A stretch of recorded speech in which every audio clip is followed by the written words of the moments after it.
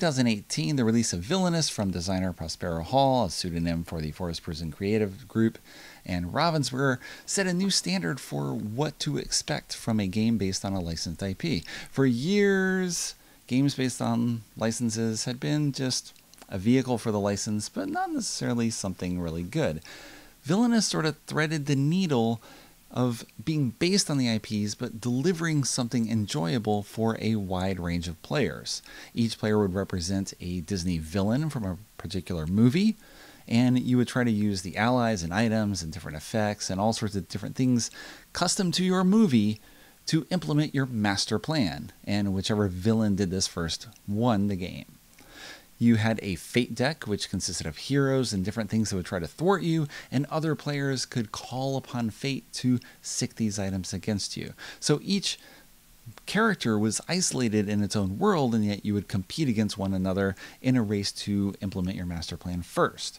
In early 2019, Ravensburger released the Wicked to the Core expansion, which was a standalone game with three new characters that could just be used on its own, or you can mix and match with anyone in the base game. In July 2019, now we have Evil Comes Prepared, a new standalone expansion along the same model as Wicked to the Core. This is a two to three player standalone game that can be played on its own or mixed in any way with either of the other sets. The villains featured in this box, as you can see on the cover. Scar takes the main stage. The other two characters are Yzma from The Emperor's New Groove and Ratigan from The Great Mouse Detective. And as before, each character has their own deck, their own player board, their own special things that they need to do in order to win the game. Here are most of the components for Villainous Evil Comes Prepared. Each character has their own player board, which has four locations customized to their world. They have a figure that starts on one of those locations. You have your winning conditions spelled out on the side, along with your personalized deck and the fate deck specific for you. There's also some player tokens that I am just putting on the side for now, and each villain has its own guide to tell you how to play. Because initially, when you start playing, you don't know what you need to do. So, with Scar to win, he has to have 15 points of strength in the succession pile. And if you look on this board, there is no succession pile. You have no idea what you have to do initially, but what you must do first is find Mufasa and then eliminate him. And if you do, you start the succession pile with him. Right? You've taken out the king. You're trying to take charge as king. So Mufasa has to go first. He has six strength. You put him aside in the succession pile, and any hero you defeat after that will be added to the succession pile until you get 15 strength and win. If you defeat someone before Mufasa, then those cards are just placed in the discard pile because you just scare them off. You haven't done anything permanently bad to them. But once Mufasa is out, you are headed for victory. At least that's what you hope. Your allies are primarily hyenas, as you might expect, and the hyenas get more strength as you pile them up in particular spaces. They work best in packs.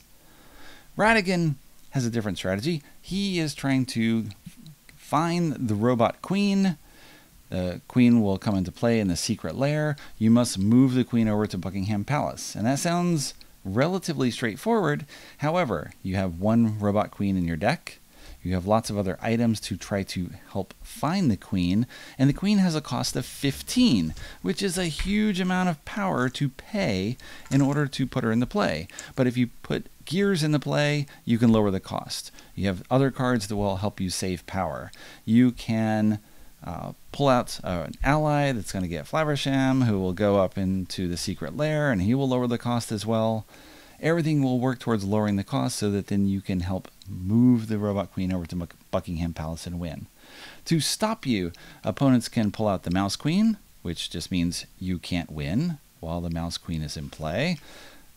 The opponents can also pull out Basil. If they can't find Basil immediately, they can call for help, which will pull Basil out of the deck and into play. And when he's played, you can discard one item from his location. So if the Robot Queen is already in play and Basil comes down, you can remove the Robot Queen, discard it from play. And once that happens, your goal changes to defeating Basil. That's all that matters from that point. If Basil never comes out, then move the queen on to Buckingham Palace to win. There's lots of other cards in the deck. I will ignore most of them and focus on the main thing, the winning condition. For Yzma, you need to defeat Kuzco with Kronk. So Kronk is one character in your deck, so you're trying to find him. Unlike most allies, if you use Kronk to vanquish a hero, normally the allies go away. They go in your discard pile and you have to build them up again. The hyenas come and go. All your ruffians will come and go. But Kronk stays around. And you have to find Kuzco in order to win. However, some complications. Kronk will build up power when he moves, and Kronk has to be in the same row as Kuzco in order to win.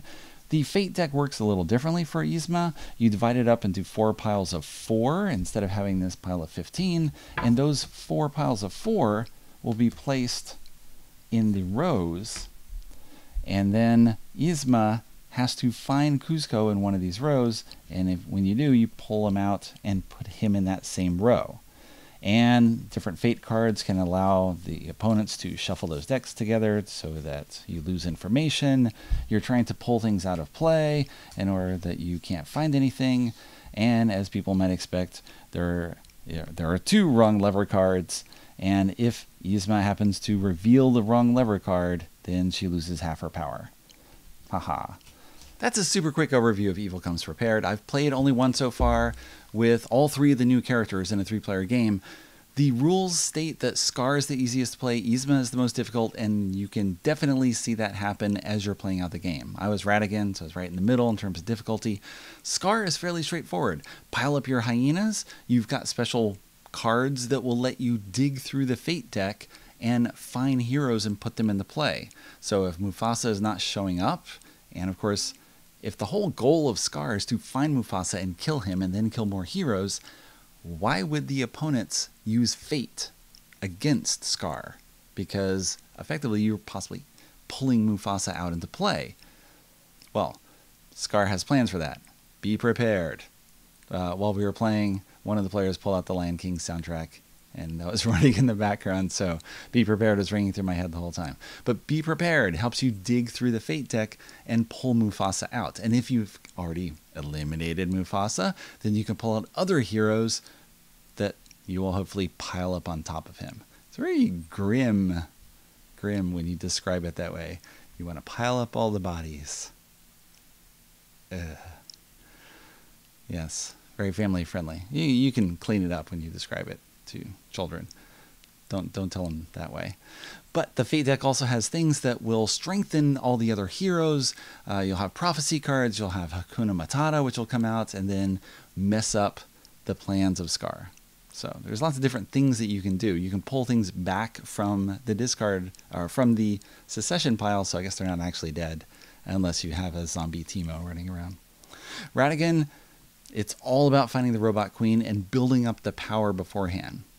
So you're trying to dig through the deck, use the discard powers as much as you can in order to find that queen. But if you need a lot of power when you finally find it in order to do anything. And so it's similar to Ursula, where you have to dig for the trident and just keep cycling through and find things. Yzma is kind of the same way, where you have to find Kronk and then put him out and then hopefully keep him. So Kronk builds up power on him, as I started to say before. He doesn't go away when you use him to remove a hero. He sticks around. But if you move Kronk from location to location, you put power on him, and when he gets enough power, he turns against you. He becomes a hero fighting against you, which means you then need to eliminate him, go put him in the discard pile, and then pull him back out again. So it's a very roundabout process where you have to try to move Kronk as little as possible while finding Kuzco and then possibly moving him around while your opponents are messing with you. So we played this game the way I prefer, which is we didn't look through everything ahead of time. We didn't know what cards we were looking for. It made it much harder for Yzma, I think, just because that player did not know what to expect. It's a very different feel where you've got four cards in front of four piles in front of you, and you're trying to pull the right things out of that pile and remember what's in each pile for this game that you've never played before. He had not played any of the villainous titles, so this is all brand new to him. It was, tough. He he looked like he was on the verge of victory, having Kronk there. I knew Kuzco was in the same pile because I had looked previously at it, and I went digging randomly, found a card, and I was able to shuffle him away. Problem solved. Scar looked like he was building up. He had Mufasa out. He started digging through the fate pile. Got Mufasa. Mufasa was taken out. And he started building up others, but we were able to bring creatures back. Kept pulling out prophecies. Uh, added Rafiki's stick onto an animal so that when you fought it, you had to get rid of the stick first, and then the animal would still survive. The, out, the hero would still survive. Able to hold off Scar until Ratigan was able to bring the Robot Queen to Buckingham Palace and win. So, first victory on a review copy of Villainous Evil Comes Prepared. The game is scheduled to be released July 19th at the Target retail chain in the US and then available more broadly at other stores at the beginning of September 2019. There you go. Ah, Mufasa.